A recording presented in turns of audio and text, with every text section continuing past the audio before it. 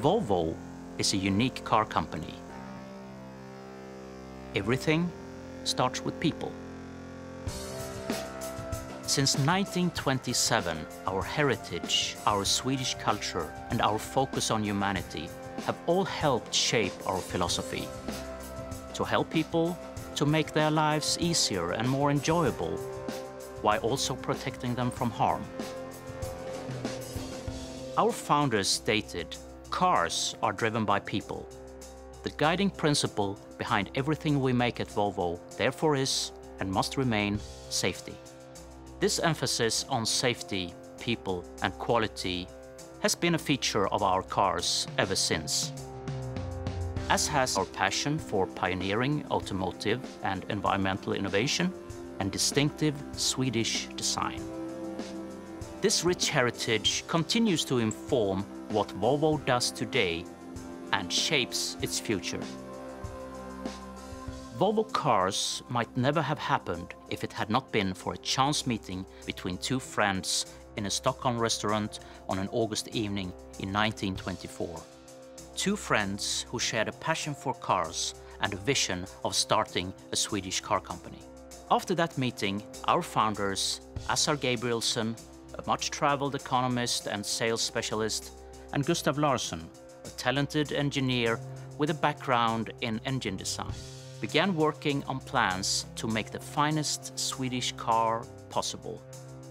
At the time, Gabrielsson was also working for the ball bearing manufacturer SKF, who owned the brand name Volvo. Fittingly, for a maker of steel ball bearings, the name means I roll in Latin. The initial design concepts emerged from Gustav Larsson's apartment in central Stockholm in mid-1925, and in 1926 testing began on the first 10 prototypes, personally funded by Assar Gabrielsson. On the 14th of April 1927, the first Volvo production car, the 2-liter OV4, nicknamed Jacob, rolled out of the factory in Hisingen, Gothenburg, bearing the iconic Iron Mark logo. The company we now know as Volvo was born. Back in 1927, three factors contributed to Volvo's early success. Sweden's growing industrial capabilities, the availability of premium quality local steel, and a genuine need for strong, high-quality cars, as imported vehicles tended not to survive long on rugged, weather-worn Swedish roads.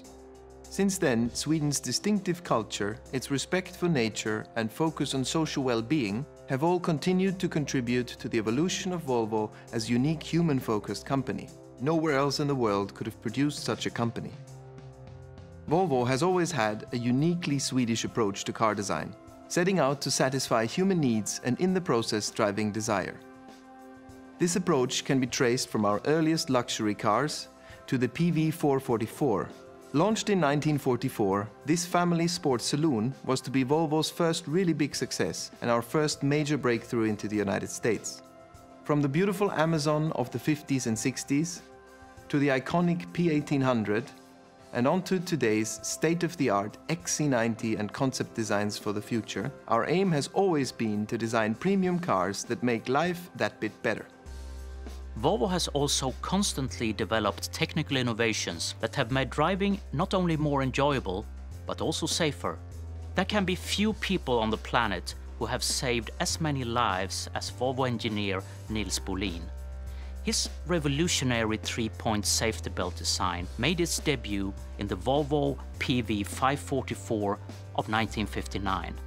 And since then, it's estimated that it saved over 1 million lives because Volvo Cars waived its patent rights so that everybody could benefit, whatever car they drive.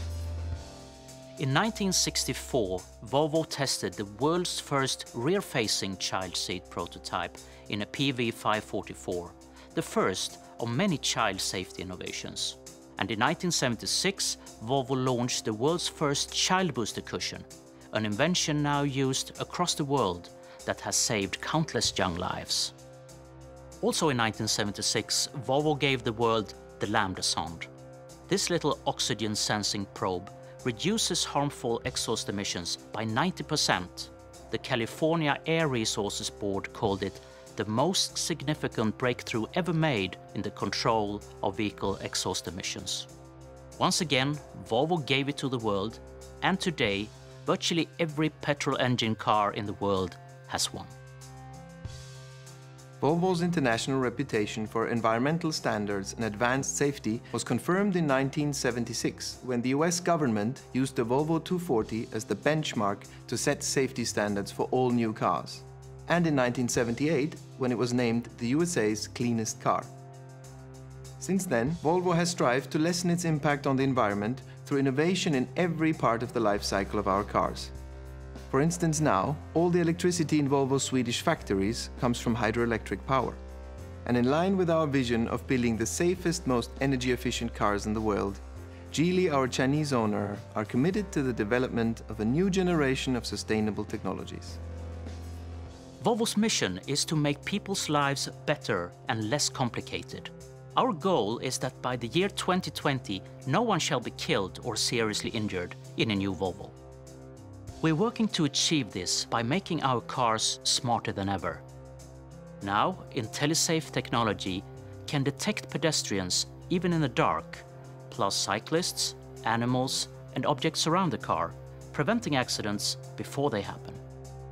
And our Drive Me autonomous driving program means that soon Volvos will be able to look after some of the less exciting aspects of driving, such as stop and go traffic allowing drivers more time to enjoy life. Of course, our self-driving cars will be safer, save fuel and reduce emissions, helping to improve everyone's quality of life. We think our founders would have approved.